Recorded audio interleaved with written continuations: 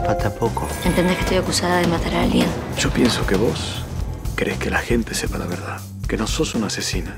Soy Blanca Luz Brun, poeta, pintora y periodista, revolucionaria y ama de casa.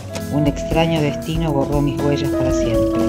Mi ser como hijo desaparecido me sitúa eh, con un enfoque diferente que cualquier otro periodista.